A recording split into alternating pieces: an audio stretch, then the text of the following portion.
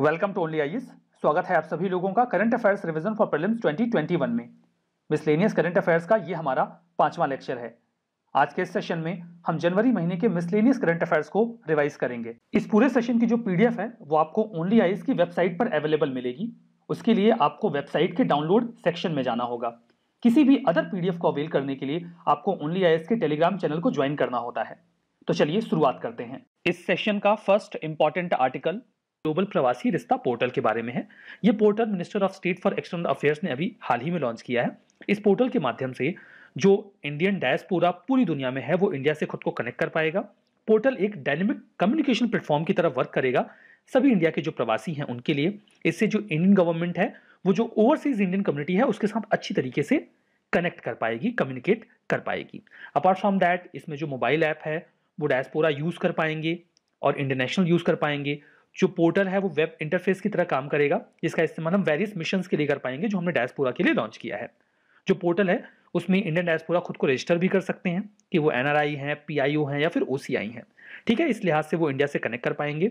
ये कम्युनिकेट करने में मदद करेगा डायस्पोरा को रियल टाइम बेसिस पे हम उनके साथ कम्युनिकेट कर पाएँगे। हमारा अगला आर्टिकल है वो नेशनल मेट्रोलॉजी कॉन्क्लेव के बारे में है। कॉन्क्लेव का मतलब होता है बैठक या फिर सभा संगोष्ठी कह लीजिए। हमारे ऑनरेबल प्राइम मिनिस्टर ने अभी एक इनाग्रल एड्रेस दिया नेशनल मेट्रोलॉजी कनक्लेव के लिए हाल ही में एक वीडियो कॉन्फ्रेंसिंग के ज़रिए। वहाँ पर उन्होंने कई सारी इंपॉर्टेंट बातें करी। तो उन्हीं बातों पर यहाँ पर कुछ इंपॉर्टेंट पॉइंट्स कलेक्ट किए गए हैं। देखिए मेट्रोलॉजी का मतलब होता है माप पद्धति। किसी चीज़ को एक्यूरेसी के साथ इवेल्युएट करना। इस कॉन्क्लेव को ऑर्गेनाइज किया गया था नेशनल मेट्रोलॉजी यहाँ पर ऑर्गेनाइज किया गया था C S I R NPL के द्वारा। That stand for council of scientific and industrial research national physical laboratory के द्वारा।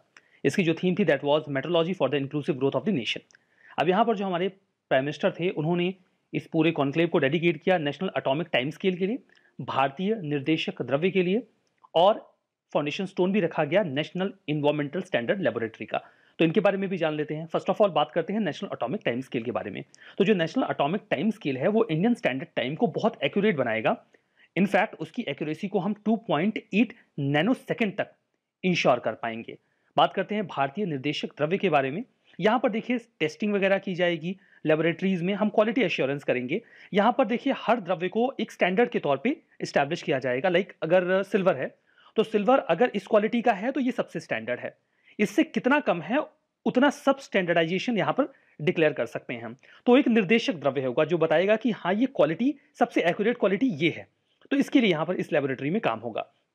नेशनल एनवायरमेंटल स्टैंडर्ड लेबोरेटरी की बात करें तो ये इंडिया को सेल्फ रिलायंस देगा कि जो एम्बियंट एयर या फिर इंडस्ट्रियल एमिशन मॉनिटरिंग इक्विपमेंट्स हैं, हम उनके सर्टिफिकेशन को थोड़ा बेहतर कर सकें। यहाँ पर जो अगला आर्टिकल है, वो टेम्पन टैक्स के बारे में है, उसके अबॉलिशन के बारे में है। यूके ने अभी इस टैक्स को अबॉलिश कर दिया।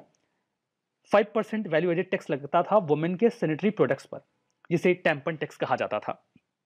अब देखिए, हुआ ये कि इसे अबॉलिश करने के बाद अब जो ब्रिटेन है वो कुछ ऐसे देशों की श्रेणी में आ गया है जहाँ पर ऐसे सैनिटरी प्रोडक्ट्स के ऊपर टैक्स नहीं लगाए जाते, जिसमें इंडिया ऑस्ट्रेलिया और कनाडा भी आते हैं। दिसंबर इकतीस तक यूके के लिए पॉसिबल नहीं था बिकॉज़ यूके ईयू का पार्ट था। और ईयू में जो कॉमन टैक्स का मैकेनिज्म है, उसमें सैनिटरी नैपकिन्स और जो प्रोडक्ट्स हैं, उन्हें पाँच परसेंट टैक्स के एम्बिट में रखा गया था और इन्हें नॉन एसेंशियल प्रोडक्ट्स माना जाता था। लेकिन अब चूँकि जो यूके है, वो ईयू से बाहर आ गया है तो वो आसानी से ऐसे टैक्सेस एलिमिनेट कर सकते हैं उन्होंने कर भी दिया। अब वो ईयू के डायरेक्टिव्स मानने के लिए बाउंड नहीं है। हालाँकि रिपब्लिक ऑफ़ आयरलैंड ने जो सैनिटरी प्रोडक्ट्स हैं, उनके ऊपर जो वैट था, उसे पहले ही खत्म कर दिया था ऑल वो ईयू के मेंबर थे। इसका रीजन ये था क्योंकि उनका जो, उन्होंने पहले ही ऐसे रेगुलेशन बना रखे थे कि इस पर कोई भी टैक्स नहीं लगेगा। जब वो ईयू के मेंबर नहीं बने थे, तभी से उनके पास ये मैकेनिज्म था तो इसलिए उसमें कोई हस्तक्षेप नहीं हुआ। 2020 में जो स्कॉटलैंड है, वो पहली ऐसी कंट्री बन गई, जिसने सैनिटरी प्रोडक्ट्स को फ्री ऑफ़ कॉस्ट अवेलेबल करवा, करने के लिए बोल दिया, ऐसे लोगों के लिए, ऐसी महिलाओं के लिए गर्ल्स के लिए, जिन्हें इसकी बहुत ज़्यादा ज़रूरत है। अब यहाँ पर ये आपको टेम्पन टैक्स के बारे में पता चल गया। जो अगला आर्टिकल है, वो डिजिटल मीडिया लिटरेसी प्रोग्राम के बारे में है। देखिए, कई बार अब ऐसा देखा जाता है कि लोग सोशल मीडिया प्लेटफॉर्म्स का सहारा लेते हैं न्यूज़ अवेल करने के लिए। कोई ट्विटर पे लोगों को फॉलो कर रहा है, कोई फेसबुक का इस्तेमाल कर रहा है, कोई इंस्टाग्राम के ज़रिए न्यूज़ कलेक्ट कर रहा है। अब जो सोशल मीडिया प्लेटफॉर्म्स हैं, वहाँ से न्यूज़ कलेक्ट करने में काफ़ी रिस्क होता है। क्योंकि मोस्ट ऑफ़ द टाइम हम उस न्यूज़ को सही मानते हैं, लेकिन उनकी गलत होने की संभावना काफ़ी ज़्यादा होती है। केरला की सरकार इस बात को लेकर काफ़ी कंसर्न है। उन्होंने अभी हाल ही में डिजिटल मीडिया लिटरेसी प्रोग्राम चलाया। अनाउंस किया है इनफैक्ट कि चलाएँगे और इसको नाम दिया गया है सत्यमेव जयते। ये जो प्रोग्राम है, इसके तहत स्कूल्स एंड कॉलेजेस में कई सारी बातें पढ़ाई जाएँगी कि जब आप डिजिटल मीडिया का इस्तेमाल करते हैं तो कितनी सावधानी बरतनी है। यहाँ पे कई सारे पॉइंट्स कवर किए जाएँगे। पाँच फोकस पॉइंट एरिया होगा कि जो इन्फॉर्मेशन आप अवेल कर रहे हैं सोशल मीडिया प्लेटफॉर्म्स के ज़रिए, उसमें रॉन्ग इन्फॉर्मेशन कौन सी है? रॉन्ग इन्फॉर्मेशन तेज़ी से फैलती क्यों है? क्या प्रिकॉशंस लेने चाहिए ताकि हम सोशल मीडिया पर सही कंटेंट कंज्यूम करें? फेक न्यूज़ को स्प्रेड करने वाले लोगों को आखिर फ़ायदा क्या होता है? वो ऐसा करते क्यों हैं? और लोगों को क्या स्टेप्स लेने चाहिए ताकि वो इससे बच सकें और इन्हें रोक सकें? ये सारी चीज़ें जब लोगों को पता होंगी तो लोग कॉन्शियस होंगे। क्योंकि स्मार्टफ़ोन और इंटरनेट का जो पेनिट्रेशन है, वो केरला में कंपेरेटिवली ज़्यादा है। बड़ी संख्या में लोग वहाँ पर सोशल मीडिया का इस्तेमाल करते हैं इवन न्यूज़ अपडेट्स के लिए, जो कि काफ़ी दिक्कत वाला होता है, अगर आपको गलत न्यूज़ मिल रही है तो। इसीलिए लोगों को समझना होगा कि क्या लॉज एंड बेंच हैं, जो कि सोशल मीडिया को कंट्रोल करते हैं, और यहाँ पर हमें कैसे ट्रुथ और अनट्रुथ से बचना होगा, उसके बीच का डिस्टिंक्शन इंश्योर करना होगा। ये जो वर्ड है सत्यमेव जयते, इसके बारे में भी जान लेते हैं। Truth, alone, triumph. सत्य की सदैव जीत होती है। ये मुंडक उपनिषद से लिया गया है, जो कि एक हिंदी स्क्रिप्चर है। जब हमारा देश आज़ाद हुआ तो इसे नेशनल मोटो के तौर पर स्वीकार किया गया 26 जनवरी 1950 को। इसे देवनागरी स्क्रिप्ट में लिखा गया है, जो लॉयन कैपिटल ऑफ़ अशोका है, वहाँ पर। और ये हमारे इंडियन नेशनल एम्बलम का एक इंटीग्रल पार्ट भी है। सत्यमेव जयते हमारी जो करेंसी है और कई सारे नेशनल डॉक्यूमेंट्स पर साइड में लिखा हुआ मिलता है। जो हमारा लास्ट आर्टिकल है, वो Korea superconducting tokamak advance research के बारे में है, जिसे आप पॉपुलरली आर्टिफिशियल सन कह सकते हैं। आर्टिफिशियल सन जिस पर अभी हमने चाइना के बारे में एक आर्टिकल कुछ समय पहले डिस्कस किया था, इस पर साउथ कोरिया भी काम कर रहा है। तो जो साउथ कोरिया है, उन्होंने अभी एक highest level of temperature avail किया है, जहाँ पर न्यूक्लियर फ्यूजन का इस्तेमाल किया जाता है। एनर्जी जनरेट होने का वो तरीका जो सन में मिलता है, सूरज में मिलता है। तो ये सूरज की तरह चमकता नहीं है। ये एक प्रकार की फैसिलिटी है। आप रिसर्च फैसिलिटी कह लीजिए, जैसा कि इमेज में दिखाया गया है। हम आर्टिफिशियल सन इसलिए कह देते हैं, क्योंकि जिस मैकेनिज्म से सन में एनर्जी पैदा होती है, बिल्कुल उसी मैकेनिज्म का इस्तेमाल करके यहाँ पर एनर्जी पैदा की जाती है। तो इस फैसिलिटी में 20 सेकेंड तक 100 मिलियन डिग्री सेल्सियस का टेम्परेचर अवेल किया गया। ये टेम्परेचर इस रिसर्च फैसिलिटी की जो दीवारें हैं, इनको टच ना करें इसीलिए इसको एक मैग्नेटिक फ़ील्ड से स्प्रेड होने से रोक दिया जाता है। क्योंकि अगर ये किसी भी दीवार से टच करेगा, चाहे वो कंक्रीट की हो या किसी भी मेटल की हो, वो उसको गला देगा। अब ये 100 मिलियन डिग्री सेल्सियस टेम्परेचर है कितना ज़्यादा, इसका अंदाज़ा आप ऐसे लगा सकते हैं कि जो सूरज है, वहाँ पर 15 मिलियन डिग्री सेल्सियस का टेम्परेचर होता है। मतलब ये जो आर्टिफिशियल सन में एनर्जी लेवल अवेल किया गया है, वो सन के कंपैरिजन में 6.6 टाइम ज़्यादा है। तो अगर एक मैग्नेटिक फ़ील्ड क्रिएट करके उसके चारों ओर इसे उस फैसिलिटी की दीवार से टच होने से ना रोका जाए तो क्या आपको लगता है इतना टेम्परेचर कोई भी मेटल झेल पाएगा? इसे जो नाम दिया गया है, वो है K S T A R वही Korea superconducting tokamak advance research उम्मीद की जाती है कि अगर ये फैसिलिटीज़ ये रिसर्च सफल होती है और इसका इजी इस्तेमाल किया जा सकता है तो आने वाले समय में हमारे पास एक बहुत स्ट्रॉन्ग सोर्स ऑफ़ एनर्जी होगा। प्रवासी भारतीय दिवस के बारे में है। सिक्सटीन प्रवासी भारतीय दिवस को अभी 9 जनवरी 2021 को सेलिब्रेट किया गया, जबकि कोविड 19 चल रहा है। इसे देखिए 2003 में for the first time observe किया गया था। 2015 के बाद से इस इवेंट को बाइनियल कर दिया गया है, यानी कि दो साल में एक बार। जो प्रवासी भारतीय दिवस है, इसे मनाया क्यों जाता है?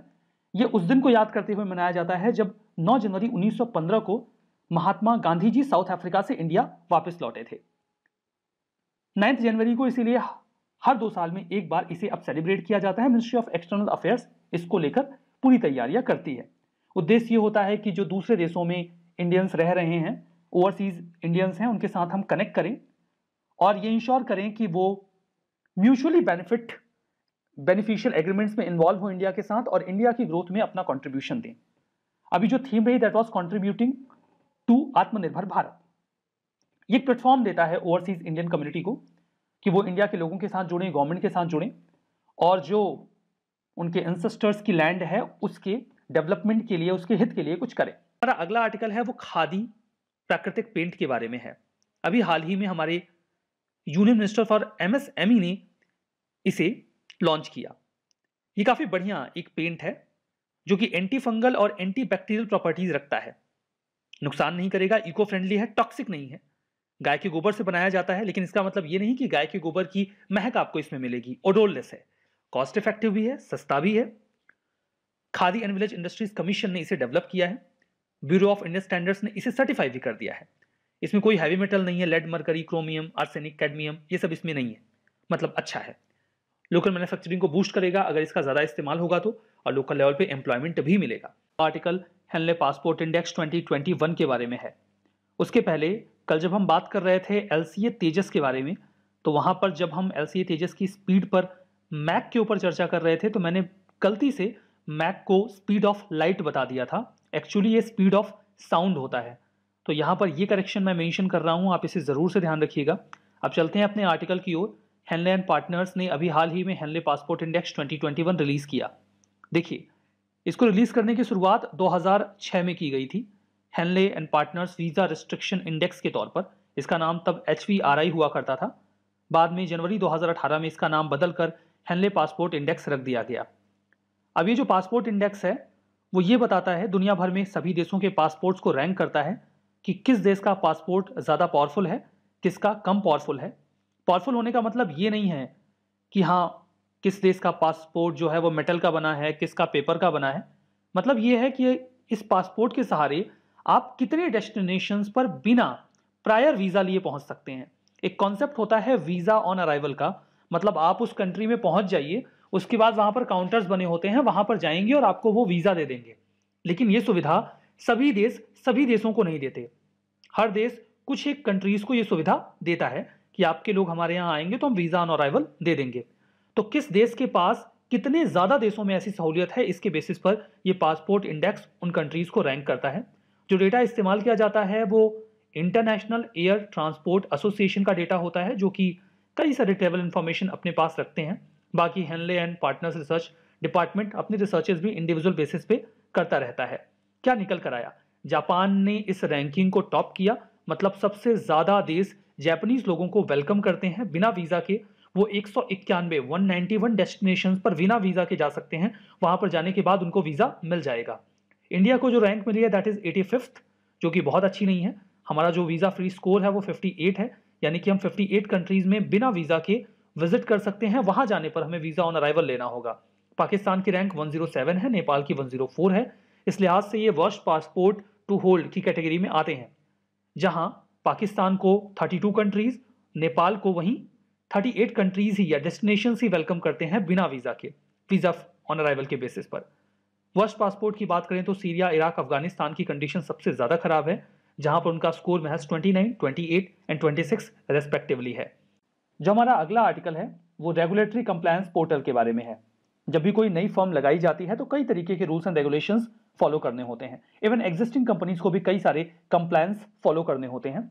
अब इस कंप्लायंस में कई तरीके की दिक्कतें होती हैं। कई सारे कंप्लायंस तो ऐसे हैं, जो बेकार के हैं, जिनका कोई मतलब नहीं है, लेकिन वो स्टिल एग्जिस्ट करते हैं।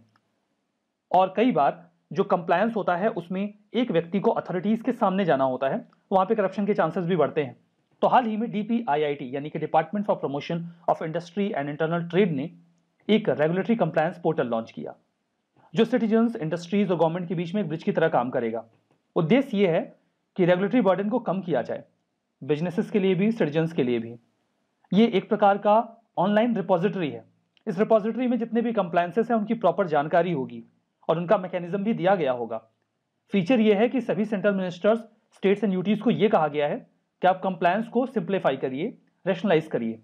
और जब उन्हें सिंप्लीफाई कर दिया जाएगा तो वापस से उसे इस पोर्टल पे अपडेट कर दिया जाएगा। तो बिजनेसेस को लोगों को पता चल जाएगा कि अब ये कंप्लायंस उन्हें फॉलो नहीं करना है।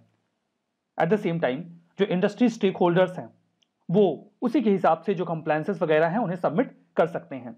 यहाँ पर इस बात का भी ध्यान रखा जाएगा कि कम से कम कॉन्टैक्ट हो, जो भी कंप्लायंस अथॉरिटीज हैं, उनके साथ बिजनेसेस या फिर जो सिटीजन्स हैं, उनके बीच में। तो इससे करप्शन के चांसेस भी कम होंगे। डीपीआईआईटी एक नोडल डिपार्टमेंट की तरह काम करेगी इस पूरे पोर्टल के लिए। आर्टिकल है वो नेशनल रोड सेफ्टी काउंसिल के बारे में है। Union minister for road transport and highway उन्होंने अभी हाल ही में nineteen meeting national road safety council की एड्रेस की, जहाँ पर यह टारगेट रखा गया कि 2025 तक रोड पर होने वाले एक्सीडेंट्स को 50 परसेंट तक कम किया जाएगा। तो नेशनल रोड सेफ्टी काउंसिल है क्या? ये एक प्रकार की एडवाइजरी बॉडी है। जिसे मोटर व्हीकल्स एक्ट ऑफ़ 1988 के section one two one five के तहत बनाया गया है। ऑब्जेक्टिव ये ही है कि रोड सेफ्टी को हम कैसे इंप्रूव कर सकते हैं। और इस काउंसिल के जो चेयरपर्सन होते हैं, वो union minister of road transport and highways ही होते हैं। आर्टिकल है that is about green bond green bond जैसा कि नाम से ही स्पष्ट है, ये किसी ग्रीन पर्पज से इस्तेमाल किया जाता होगा। कॉन्टेक्स्ट क्या है? कॉन्टेक्स्ट ये है कि अभी आरबीआई ने ये कहा कि इंडिया में ग्रीन बॉन्ड को इश्यू करना कंपेरेटिवली महँगा है। अदर बॉन्ड्स के कंपैरिजन में। ऐसा कई सारे कारणों से है। एक तो ग्रीन बॉन्ड्स के बारे में लोगों को कम जानकारी होती है। दूसरा इन्वेस्टर्स के मन में एक परसेप्शन होता है कि जो ग्रीन बॉन्ड में कंपनीज़ इन्वेस्टमेंट लेती हैं, वो कम परफॉर्मिंग होती हैं, इसीलिए उन्हें अच्छे रिटर्न्स मिलने की संभावना नहीं होती। एट द सेम टाइम जो ग्रीन बॉन्ड में कंपनी इन्वेस्टमेंट्स लेती हैं, वो बहुत ज़्यादा कॉस्ट बेनिफिट निकाल नहीं पाते तो उन्हें हाई रिटर्न देना पड़ता है ताकि वो इन्वेस्टर्स को अट्रैक्ट कर सकें। इस वजह से ग्रीन बॉन्ड्स इंडिया में कम परफॉर्मिंग रहे हैं। बॉन्ड्स इसका मतलब एक प्रकार का एक ऐसा फाइनेंशियल टूल है जिसे इशू करके इन्वेस्टमेंट लिया जाता है। फॉर एग्ज़ाम्पल कंपनी ए है। ये जो कंपनी ए है, इसे कुछ पैसे चाहिए कंपनी में इन्वेस्ट करने के लिए। तो ये कंपनी ए कुछ बॉन्ड्स जारी करेगी। That will be kind of paper जिसे एक पर्सन एक्स खरीद सकता है। इसके बदले में वो कंपनी ए को कुछ पैसे दे देगा। जिस प्राइस का वो बॉन्ड है, इसके बदले में इस इंडिविजुअल एक्स को ये कंपनी एक सर्टेन टाइम फ्रेम में रिटर्न्स या फिर ब्याज देती रहेगी। सो इट्स वेरी क्लियर कि बॉन्ड्स जो होते हैं, वो एक प्रकार के डेट इंस्ट्रूमेंट्स होते हैं। अब इस डेट इंस्ट्रूमेंट को ग्रीन बॉन्ड इसलिए कहा जाता है क्योंकि जो भी इन्वेस्टर्स इन बॉन्ड को जारी करके पैसे इकट्ठा करता है, वो उसका इस्तेमाल इन्वायरमेंट फ्रेंडली इन्वेस्टमेंट में करता है या पर्पज से करता है। ग्रीन बॉन्ड में कई तरीके के टैक्स इंसेंटिव्स भी दिए जाते हैं ऐसे लोगों को जो ऐसे बॉन्ड्स खरीदते हैं, ताकि इन्वेस्टर्स ग्रीन फ़ील्ड में पैसे इन्वेस्ट करने को लेकर इंसेंटिवाइज हो, उन्हें भी फ़ायदा मिल जाए और हमारा इन्वायरमेंट भी बेहतर रहे। हमारे जो इन्वायरमेंट को लेकर ऑब्जेक्टिव्स हैं टारगेट्स हैं, वो भी पूरे होते रहें। वर्ल्ड बैंक ने for the first time official green bond 2009 में जारी किया था। इंडिया में सबसे पहले ग्रीन बॉन्ड जारी करने वाली एंटिटी यस बैंक थी, जिसने 2015 में ग्रीन इंफ्रास्ट्रक्चर बॉन्ड जारी किए थे। सेबी ने आठ कैटेगरीज को अलोकेट किया है जहाँ पर इन्वेस्टमेंट अगर करना है तो ग्रीन बॉन्ड के ज़रिए पैसे मांगे जा सकते हैं इन्वेस्टर्स से। Renewable energy clean transportation sustainable water management climate change energy efficiency sustainable waste management land use and biodiversity conservation ये आठ फील्ड्स है। आर्टिकल है, वो M G I E P के बारे में है। इसका फुल फॉर्म है Mahatma Gandhi institute of education for peace and sustainable development हमारे एजुकेशन मिनिस्टर ने अभी हाल ही में इसमें पार्टिसिपेट किया, जहाँ पर उन्होंने नेशनल एजुकेशन पॉलिसी को संज्ञान में लिया। उन्होंने ये भी कहा कि जो न्यू एजुकेशन पॉलिसी है, वो सस्टेनेबल डेवलपमेंट गोल और यूनेस्को के जो भी एजेंडाज हैं, जो भी उनके ऑब्जेक्टिव्स हैं, उनसे बिल्कुल मेल खाता है। MGIEP ये United Nations educational scientific and cultural organization यानी कि यूनेस्को का कैटेगरी वन रिसर्च इंस्टीट्यूट है। यूनेस्को के कैटेगरी वन रिसर्च इंस्टीट्यूट होने का मतलब ये है कि ये मेंबर स्टेट्स में डेवलपमेंटल कैपेसिटी को या साइंटिफिक कैपेसिटी को एनहेंस करता है पार्टिकुलरली डेवलपिंग कंट्रीज़ में। यहाँ पर यूनेस्को की हम बात कर रहे थे तो यूनेस्को के संबंध में बात यह है कि एमजीआईईपी को कब स्टैब्लिश किया गया? तो देखिए, इसे स्टैब्लिश किया गया था 2012 में। जहाँ पर यूनेस्को और गवर्नमेंट ऑफ़ इंडिया ने मिलकर इसे स्टैब्लिश किया था। यहाँ पर अगर हम इसके वर्किंग की बात करें तो ये जो मेंबर गवर्नमेंट्स हैं, उनको सपोर्ट करता है, एडवोकेट करता है कि रिसर्चेस वगैरह अच्छे से चलते रहें और कंट्रीज़ की जो साइंटिफिक कैपेबिलिटी है, वो इनहेंस हो। वो यंगस्टर्स को मोबिलाइज करते हैं, ताकि वो यूनाइटेड नेशंस के सस्टेनेबल डेवलपमेंट गोल्स के मुताबिक अपनी अपनी कम्युनिटीज़ में जो एजुकेशन के संबंध में कैपेसिटी है, उसको थोड़ा इन्हेंस करें। सस्टेनेबल एजुकेशन के लिए काम करते हैं पीस एजुकेशन के लिए काम करते हैं। एम e और यूनेस्को ये बहुत इंपॉर्टेंट रोल प्ले करेंगे नेशनल एजुकेशन पॉलिसी 2020 के इम्प्लीमेंटेशन में। हमारा अगला article Indian telecom service and performance index से रिलेटेड है। हाल फ़िलहाल में ट्राई मतलब कि telecom regulatory authority of India ने इस रिपोर्ट को जारी किया है।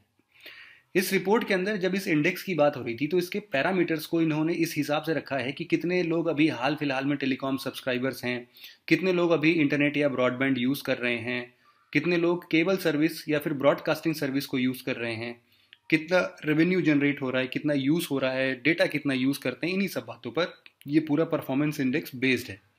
इस रिपोर्ट के कुछ हाइलाइट्स इस हिसाब से हैं कि हाल फ़िलहाल के समय में हम देख रहे हैं कि पिछले क्वार्टर्स के कंपैरिजन में, इस क्वार्टर में जो टेलीफोन सब्सक्राइबर्स हैं, उनका 0.7 परसेंट इजाफा देखने को मिलता है। लेकिन ये जो पॉइंट सेवन परसेंट का इजाफा है, अगर हम उसको प्रीवियस ईयर से कंपेयर करें ना तो प्रीवियस ईयर में, इसी क्वार्टर में हमें और ज़्यादा इंक्रीमेंट देखने को मिला था। मतलब पिछले साल के कंपैरिजन में कम ही बढ़ोतरी हुई है। बढ़ोतरी तो हुई है, लेकिन कम हुई है। जो total number of internet subscriber हैं, उनमें भी इजाफा देखने को मिला है।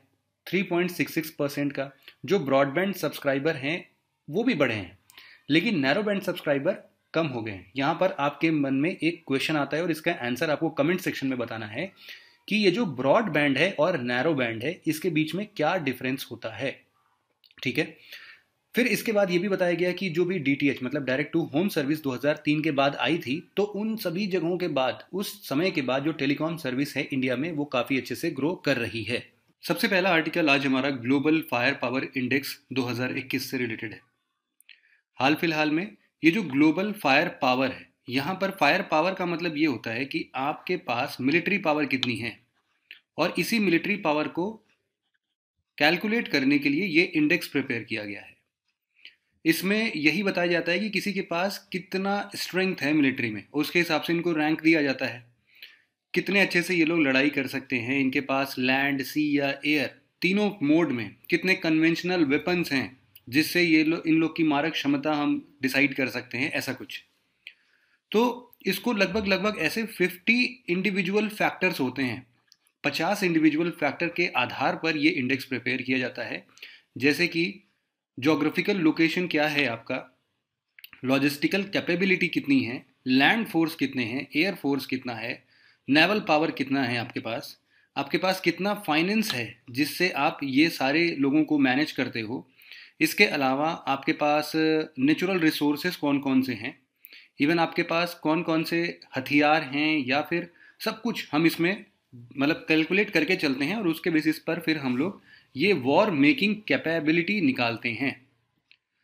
की टेकअवेज की बात करें तो यहाँ पर सबसे पहले नंबर पर है यूनाइटेड स्टेट्स ऑफ़ अमेरिका सबसे पावरफुल आर्म्ड फोर्स इनका देखा गया है। इसके बाद रशिया है, फिर चाइना और चौथे नंबर पर इंडिया का रैंक है। इंडिया के पास 542 कॉम्बैट एयरक्राफ्ट हैं। सबमरीन्स 17 हैं। टैंक्स की बात करें तो 4730 टैंक्स हैं और 37 अटैक हेलीकॉप्टर्स हैं। पाकिस्तान का इसमें दसवां रैंक है, अब आप खुद ही समझ लीजिए इसमें। यहाँ पर ईरान, इंडोनेशिया इसराइल इन सबको सरपास कर चुका है पाकिस्तान और पाकिस्तान की मिलिट्री पावर काफ़ी ज़्यादा दिखाई गई है इसमें। अगला आर्टिकल हमारा इंडियन टेलीग्राफ एक्ट 1885 से रिलेटेड है। हाल फ़िलहाल में दिल्ली और उसके आसपास वाले एरियाज़ में इंटरनेट सस्पेंड करने की बात की गई थी, यूनियन होम मिनिस्ट्री के द्वारा एक ऑर्डर इशू किया गया था उसके तहत। ये ऑर्डर इशू किया जाता है इंडियन टेलीग्राफ एक्ट 1885 के अंदर एक temporary suspension of telecom services, public emergency और पब्लिक सेफ्टी रूल 2017 के अंतर्गत आता है। यहाँ पर जो भी सरकार है या यूनियन होम मिनिस्ट्री है, उसके पास ये पूरा पावर है, उसके पास ये एक्सक्लूसिव ज्यूरिस्डिक्शन है इस चीज़ का कि कभी भी वो वायर्ड या वायरलेस कम्युनिकेशन को पूरे के पूरे इंडियन टेरिटरी में, चाहे वो इस्टेब्लिश करे, वो बंद कर दे, उसको मेंटेन करने का पूरा पावर उसको ऑपरेट करने का और इवन उनको लाइसेंस देने का भी पूरा पावर किसका है? ये है इंडियन गवर्नमेंट के पास। इस पूरे इंडियन टेलीग्राम एक्ट 1885 के अंतर्गत कोई भी वायर्ड या वायरलेस टेलीग्राफी होती है या टेलीफोन्स होते हैं कोई भी रेडियो कम्युनिकेशन या डिजिटल डेटा कम्युनिकेशन है, उसको भारतीय सरकार गवर्न कर सकती है। यहाँ पर इस एक्ट के अंतर्गत गवर्नमेंट के पास ये भी पावर आता है कि वो फ़ोन लाइंस हमारी टैप कर सकता है, लेकिन वो भी इंडियन कॉन्स्टिट्यूशन के डिफाइंड लिमिट्स के अंदर ही। साथ ही साथ ये कम्युनिकेशन को भी मॉनिटर कर सकता है, for security purposes section five clause two इस एक्ट का ये कहता है कि सेंटर और स्टेट गवर्नमेंट किसी भी पब्लिक इमरजेंसी के टाइम पर या फिर पब्लिक सेफ्टी के इंटरेस्ट में या फिर हमारी भारत की सोवेरिनिटी और इंटेग्रिटी के इंटरेस्ट में या फिर किसी स्टेट की सिक्योरिटी के लिहाज से ऐसे एक्शंस ले सकती है। अगला आर्टिकल हमारा पद्मा अवार्ड से रिलेटेड है। हाल फ़िलहाल में सात लोगों को पद्म विभूषण से सम्मानित किया गया है। पद्म भूषण से दस लोगों को और पद्मश्री से 102 102 लोगों को। Padma award annually republic day मतलब कि 26 जनवरी को अनाउंस किया जाता है। सबसे पहली बार 1954 में इसको इंस्टीट्यूट किया गया था और ये one of the highest civilian honours है हमारे पूरे इंडिया में। यहाँ पर इसका मेजर ऑब्जेक्टिव यही है कि जहाँ पर एक पब्लिक सर्विस की बात आती है ऐसे फ़ील्ड या ऐसी जगहों पर जो भी एक्टिविटीज़ या कोई भी लोग कोई रिकग्निजेबल काम करते हैं, जिनके अचीवमेंट्स को हम सराहते हैं, ऐसे लोगों को हम इन अवार्ड से सम्मानित कर सकते हैं। इसका जो सिलेक्शन प्रोसेस होता है, इसके लिए पद्म अवार्ड कमिटी बनती है। Padma award committee prime minister के द्वारा कॉन्स्टिट्यूट किया जाता है हर साल और इन्हीं के रिकमेंडेशंस पर यह अवार्ड दिया जाता है। ये award president of India present करते हैं मार्च या अप्रैल के मंथ में। वही तीन कैटेगरीज हैं पद्म अवार्ड्स की, पद्म विभूषण सबसे ऊँचा, फिर उससे नीचे पद्म भूषण और फिर उससे नीचे पद्मश्री। यहाँ पर भारत रत्न अवार्ड भी मिलता है एक, जो कि इंडिया का या फिर अपने देश का सबसे बड़ा सिविलियन अवार्ड है हाईएस्ट सिविलियन अवार्ड है। ये भी हमारे ह्यूमन इंडिवियर को अगर कोई एक्सेप्शनली ट्रीट करता है, उनको सर्विस प्रोवाइड करता है तो उन सब के लिए ये भारत रत्न अवार्ड भी दिया जाता है। ये भी प्राइम मिनिस्टर के द्वारा प्रेसिडेंट ऑफ़ इंडिया मतलब जिसको भी प्राइम मिनिस्टर रिकमेंड करता है, उसको प्रेसिडेंट ऑफ़ इंडिया प्रेजेंट करता है भारत रत्न। लेकिन ये साल में मैक्सिमम तीन लोग को ही मिल सकता है। ये एक मेजर डिफरेंस है। यहाँ पर इस टाइम जो Padma Vibhushan seven recipient awardees हैं, आप यहाँ पर उनके फ़ोटोज़ और उनके नाम एक बार आराम से स्लाइड पॉज करके पढ़ सकते हो। 2020 के बारे में। हाल ही में जो एनुअल इवेंट है मिनिस्ट्री ऑफ़ एजुकेशन का, वो दोबारा आयोजित किया गया था, जिसका नाम है कला उत्सव। कला उत्सव 2015 से चलाया जा रहा है और इसका ऑब्जेक्टिव है एजुकेशन में आर्ट्स को बढ़ावा देना, कला को बढ़ावा देना, नाम से क्लियर है।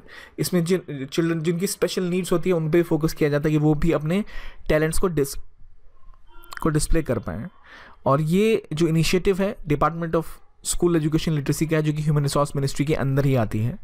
और इस बार ये ऑनलाइन किया गया था थ्रू डिजिटल प्लेटफॉर्म जहाँ पर इंडिजिनस टॉयज़ और गेम सेगमेंट को भी इंट्रोड्यूस किया गया था, ताकि उसके थ्रू भी बच्चे अपनी कला को प्रदर्शित कर पाएँ।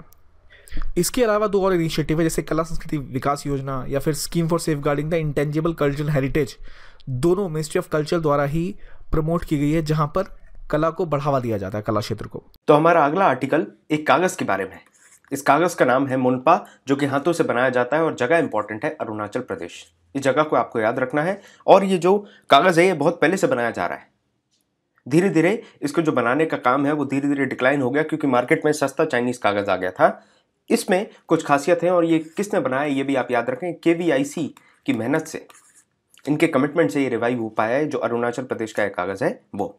ये तवांग किस्से में बनाया जाता है, इस कागज़ को कहते हैं मोन शोंगू इतना याद रखना है, ये यूज़ क्यों होता था? जो बुद्धिस्ट स्क्रिप्चर्स हैं, आपने पढ़ा होगा, त्रिपिटक और ये सारी जो इंपॉर्टेंट किताबें हैं बुद्धिज्म से संबंधित, उनको लिखने के लिए ये कागज़ यूज़ किया जाता था। और इसका एक्सपोर्ट भी होता था, तिब्बत में, भूटान, थाईलैंड, जापान, इतनी दूर दूर तक इस कागज़ को भेजा जाता था। धीरे धीरे चाइनीज़ जो कागज़ है, उसने इसको रिप्लेस कर दिया।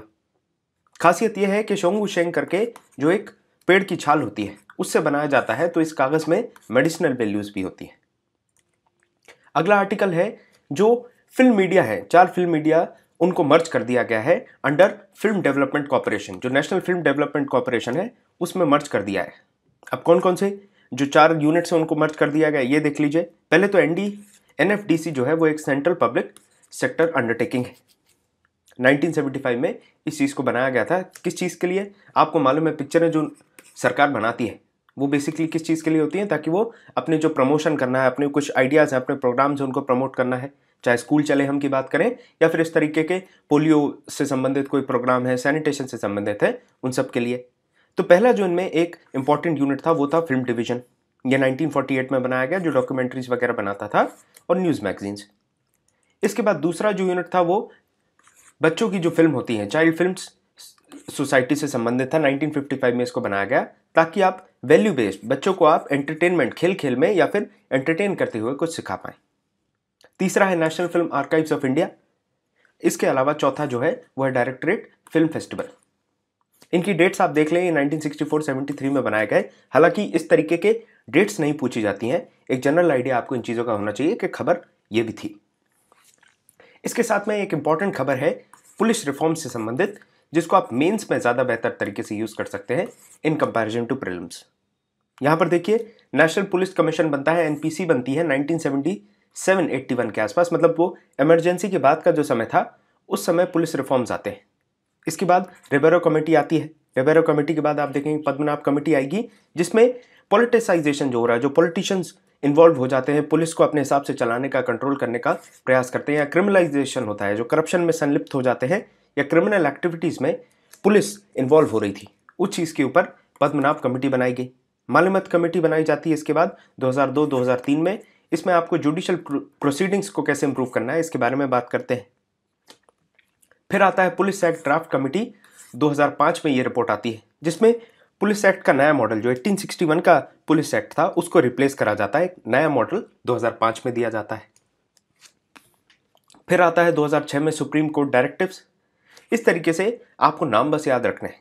सुप्रीम कोर्ट के बाद सेकंड एडमिनिस्ट्रेटिव रिफॉर्म्स आएँगे, जो आपकी रिपोर्ट आने वाली है, एडीआर रिपोर्ट आएगी, उसमें 2007 में बताया जाएगा पुलिस पब्लिक रिलेशंस कैसे होने चाहिए।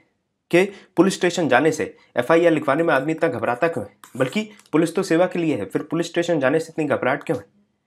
बाद में जस्टिस थॉमस कमेटी 2010 में अपनी रिपोर्ट देती है और सुप्रीम कोर्ट डायरेक्टिव्स आते हैं 2018 में। जो रीसेंट डायरेक्टिव्स हैं, वो सुप्रीम कोर्ट ने दिए हैं 2018 में, जिसमें पुलिस रिफॉर्म पे बात करी जा रही है और इम्प्लीमेंटेशन जो करने की बात है 2006 के जो डायरेक्टिव्स हैं, उनको इम्प्लीमेंट करने की बात कही गई है। तो आज के इस सेशन में बस इतना ही। Thank you very much